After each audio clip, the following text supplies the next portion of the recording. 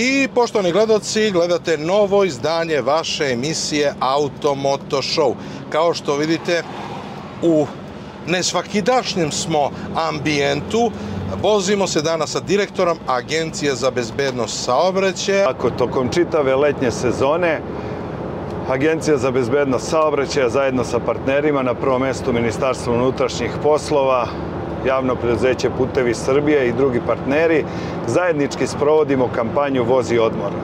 U okviru kampanje Vozi odmoran angažovali smo dva vozila, jednog kampera koji najopterećenijim danima u nedelji, kada govorimo o opterećenju na putevima u tranzitnim pravcima, na autoputevima koridor 10, koridor 11, mi se zajedno sa sa našim promoterima, zaustavljamo na odmorištima, zaustavljamo se na benzinskim stanicama i direktno razgovaramo sa našim građanima, ali i sa svima onima koji tranzitiraju i voze se kroz Republiku Srbiju sa idejom da im skrenemo pažnju o bezbednom učestvovanju u saobraćaju, sa idejom da im skrenemo pažnju na naše savete kako da budu bezbedni u saobraćaju, kako da bezbedno putuju na dugim putovanjima, Kada to kažemo na prvom mestu mislimo da se pauze prave redovno na svaka dva sata, na svakih minimum 15 minuta da se napravi pauza, da se klima uređaj koristi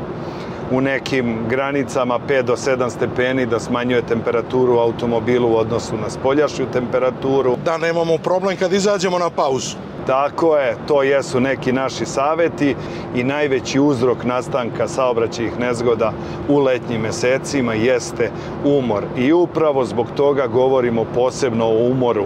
On je problematičan sam po sebi jer dolazi iznenada na neki način moramo osetiti da smo umorni i savjetujemo svim vozačima kod prvog znaka umora da zaustave automobil, da pokušaju da odmore, ako je potrebno čak i da odspavaju, jer jedini lek za umor jeste san.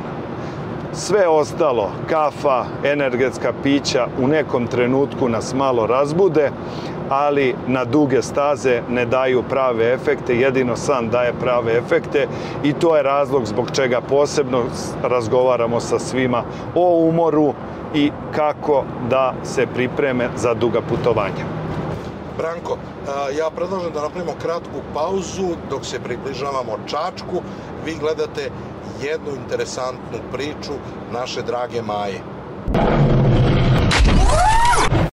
Bilo je vruće sa našom Majom na terenu, a i nama je baš prijatno u kamperu zvanom Vozi odmoran. Približavamo se Čačku i dalje se krećemo autoputem Miloš Veliki. Koje nam je sledeće stajalište i šta je plan? Plan nam je da e, nakon e, izlaska sa autoputa obiđemo jednu benzinsku stanicu Eko Srbija. Eko Srbija jeste partner u našoj kampanji i upravo to jesu mesta gde razgovaramo direktno sa našim građanima. Moram se zahvalim Bojane za to što ste prihvatili da se zajedno vozimo ovim kamperom, da zajedno razgovaramo sa našim građanima kako na odmorištima, tako i na, na drugim mestima gde ćemo stati i upravo svakog četvrtka, petka, subote i nedelje na našim putevima, na našim autoputevima i svim tranzitnim pravcima ka Crnoj Gori, ka Bugarskoj, Republici Severnoj Makedoniji, Mađarskoj, Hrvatskoj, na, na, na tim putevima mogu naši građani videti naše kampere. I ljubazne devojčice koje dele poklone. Ljubazne promotere koji zaista se trude da na određeni način skrenu pažnju svima svima sa kojima komuniciraju o tome kako i na koji način da budu bezbedni u saobraćaju. Što se tiče samog autoputa, danas i nije toliko velika gužva, ali petak, subota i nedelja zna da bude veliki broj automobila i to ne samo građana Republike Srbije, već i onih koji tranzitiraju kroz Republiku Srbiju. To su u najvećem slučaju državljani Turske koji negde iz Srednje Evrope putuju za svoju domovinu i upravo na tim pravcima ka Bugarskoj i ka Severnoj Makedoniji posebnu pažnju obraćamo na njih i razgovaramo sa njima. Oni obično putuju u nekim većim grupama i skrećemo im pažnju i pozivamo ih da ponovo naprave pauzu, da na svaka dva sata naprave pauzu od minimum 15 minuta, jer je upravo to ono što vozača drži budnim i sigurnim i bezbednim za volanom. Branko, ja predlažem da napravimo sada još jednu pauzu. Mi se polako i dalje vozimo ka Čačku, a vi gledate još jednu interesantnu priču, nakon čega se vraćamo u naš kamper. I ja moram da citiram gospodina Branka Stamatovića, iako on bi definitivno to vama rekao, svakako. Ovaj, a, odmor ne počinje kada stignemo na plažu, već kada sednemo u auto. Upravo tako, onog trenutka kada sednemo u automobil počeo je naš odmor i tako treba svako da isplanira svoje putovanje. E, nemojte koristiti situaciju da posle posla, posle radnog dana, obično je to možda neki petak, posle radnog dana malo se odmori i tokom noći da se putuje. Nažalost, saobraćaje nezgode u letnjim mesecima se najčešće dešavaju u ranim jutarnjim časovima, a umor jeste upravo najveći uzrok nastanka tih saobraćajnih nezgoda. Mi preporučujemo da se putuje danju, da se noću odmori, jer je to neko stanje kada smo svi navikli, svako od nas, da noću odmara, a danju velika većina nas, a danju da radi. Tako je i ovog puta savjetujemo svima noću odspavajte, dobro se naspavajte i naspavani, odmorni i zdravi krenite na put u ranim jutarnjim časovima. Noćna vožnja iziskuje i dodatne napore i što se tiče vidljivosti i druge fizičke napore vozaču i dodatno ih iscrpljuje. Zbog toga svakako savetujemo isključivo vozite danju, krenite na duga putovanja u ranim jutarnjim časovima i isplanirajte gde ćete praviti pauze na svaka dva sata i pridržavajte se saobraćajnih propisa, jer su upravo saobraćeni propisi tu da zaštite živote i vas i vaše porodice i svih drugih učesnika u saobraćaju i upravo oni imaju jako dobre razloge zbog čega su neka ograničenja brzine na autoputu određene, na magistralnim putevima su neka druga ograničenja brzine i to ga je neophodno da se svi pridržavamo, jer je upravo brzina pored umora u toku letnjih meseci glavni uzrok saobraćajnih nezgodna, ne brzina kao brzina, već prekoračenje brzine kretanja.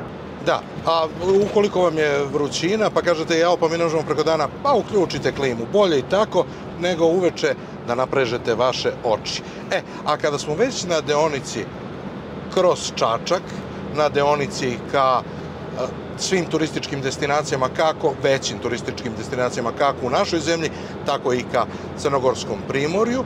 I naravno na destinaciji na koju mi upravo idemo ka Guči, sa nama je naš prijatelj iz saobraćene policije i to baš iz Čačka koji će nam reći kakva je trenutna situacija i koliko je novi autoput ka Pakovraći pomogao da se smanji broj nezgoda pa i gužve kroz sami Čačak. Trenutno je turistička sezona u toku kroz područje Čačka.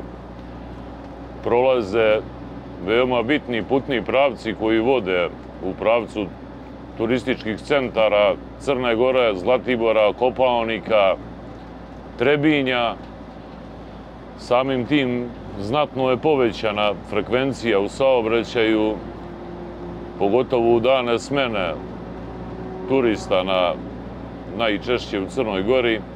Izgradnja autoputa do Pakovraća u mnogome je doprinela da se rastereti obilaznica oko Čačka, odnosno državni put prvog B reda broj 23 i popularna Ibarska magistrala.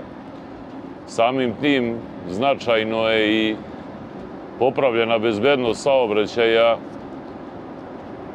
u nekom od meseci prethodnih godina bilo je čak više od 20 saobraćenih nezgoda tokom jednog meseca manje nego u odnosu na isti mesec prethodne godine, jer je sav tranzitni saobraćaj iz Čačka iz, izmešten na novoizgrađeni autoput.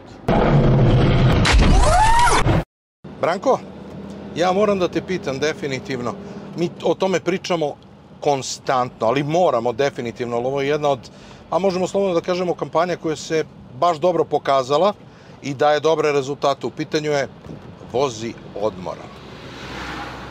Kako napredujemo? Kampanja zajedno sa partnerima koju sprovodimo protiče veoma dobro. Na prvom mestu sa Ministarstvom unutrašnjih poslova. Preko milion četvorojezičnih flajera u saradnji sa upravom saobraćaja policije delimo svima na pasoškoj kontroli priliškom ulaska u Republiku Srbiju i upravo na tom materijalu se nalaze saveti za bezbednu vožnju, saveti za bezbednu vožnju u toku letnjih meseci, ali i neke servisne informacije za sve one koji su na putu svakodnevno. Ono što je takođe bitno jeste da zajedno sa upravom saobraćaja policije svake nedelje organizujemo posebne akcije, posebne obilaske, ali i sa drugim partnerima, sa putevima Srbije, sa Automoto Savezom, sa ekopumpama, e, delimo kafu i vodu na odmorištima, e, sa turističkom organizacijom Srbije takođe pravimo posebne akcije u turističkim centrima u Republici Srbiji. Partnerski mogu da kažem da veoma dobro sarađujemo i da svako iz svog ugla promoviše bezbedno učestvovanje u saobraćaju, što nam jeste zajednički cilj. Naš zajednički cilj jeste da smanjimo stradanje u saobraćajim nezgodama, a naša vizija jeste nula, nula poginulih u saobraćajim nezgodama u Republici Srbiji i to očekujemo da jedino zajedničkim aktivnostima možemo dostići, a na prvom mestu da se uključi svaki pojedinac. Jer je svaki pojedinac svakodnevno učesnik u saobraćaju, bez obzira na to da li je vozač, vozač automobila, vozač bicikla, da li je pešak, ili možda putnik u autobusu. Svako mora da se ponaša odgovorno i da e, bude bezbedan u saobraćaju na taj način doprinosi tome da imamo stanje bezbednosti saobraćaja bez poginulih. A na putu do nule moramo da vozimo odmorno. I mi ćemo za nekoliko trenutaka da se zaustavimo na jednoj od benzinskih stanica i da vidimo kako to izgleda u praksi, Branko. Kao što smo rekli, evo nas ovde na pultu na Eko Pumpi gde razgovaramo direktno sa građanima, delimo naš promo materijal i cilj nam jeste da skrenemo pažnju i na rizike u saobraćaju, pogotovo kada govorimo o letnjoj sezoni, da se pauze prave na dva sata, da se planira putovanje i sve one poruke koje su naše ovde u Čačku danas govorimo direktno sa građanima. A da je Agencija za bezbednost svuda gde su velike manifestacije, dokazuje i prisustvo na čuvenom festivalu Trube u Guči. Na punktu agencije ovoga puta su bila dva trenažera koja pokazuju i dokazuju koliko je bitno da u vozilu obavezno vezujemo sigurnosni pojas.